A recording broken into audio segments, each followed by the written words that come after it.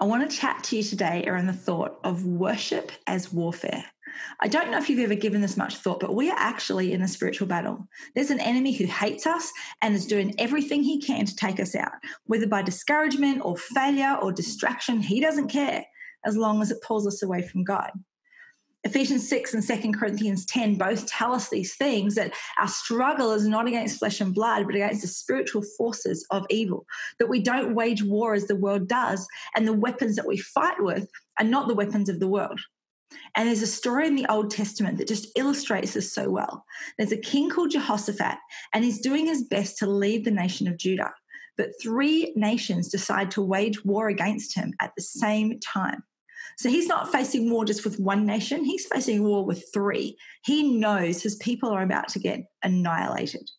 So you can imagine when he gets the news how he feels. You can imagine the, the pit that just opens up in his stomach, the cold dread that gripped him the moment he is told about what's to come. I wonder if you've been feeling like that lately.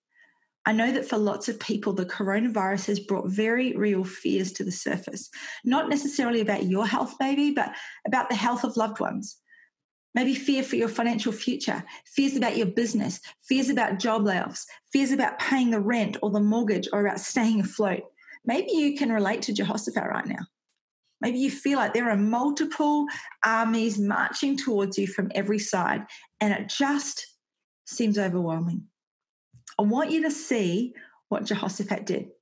2 Corinthians 20, verse 3 and 4 says, Then Jehoshaphat was afraid. It's okay to feel fear, hey?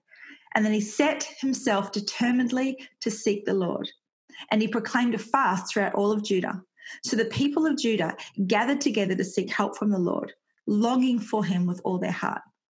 Jehoshaphat was afraid, so he set himself to seek the Lord.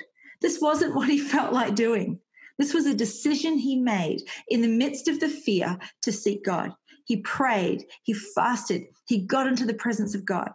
And as he prayed, he reminded himself and he reminded his people of the promises of God. He knew that his soul and the souls of his people needed reminding of who God was and what God had done. And he knew the power of declaring the praises of God into the atmosphere. So he stood in front of his people and he declared that God rules over all the kingdoms of the nations, that power and might are in God's hands, that no one can withstand God, that God has been faithful to protect them in the past. And he finished his prayer before his people by saying, We do not know what to do, but God, our eyes are on you. What powerful words. We don't know what to do, but God, our eyes are on you.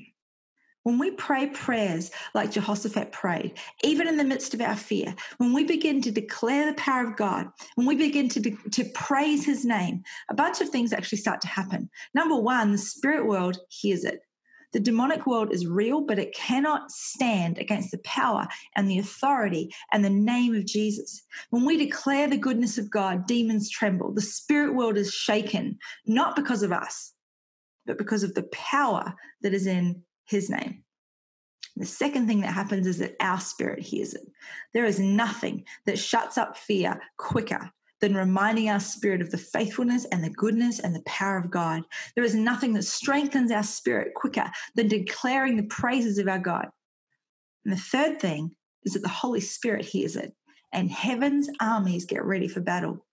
Isaiah 42 tells us this. In fact, verse 10 to 12 tell us to praise God. It says, Sing to God a new song. Sing his praise from the ends of the earth. Raise your voices. Rejoice. Sing for joy. Shout from the mountaintops. Give glory to, to the Lord. Proclaim his praise.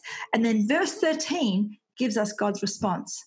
The Lord will march out like a champion, like a warrior. He will stir up his zeal. With a shout, he will raise the battle cry and triumph over his enemies. See, God's response to our heartfelt praise is that he fights on our behalf.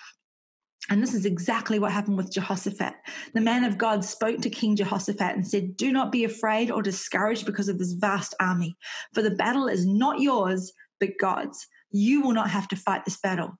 Take up your positions, stand firm, and see the deliverance the Lord will give you. Do not be afraid. Do not be discouraged. Go out to face them tomorrow, and the Lord will be with you. So Jehoshaphat led the people out to face the army, but instead of fighting, they worshipped. They sang these words Give thanks to the Lord, for his love endures forever.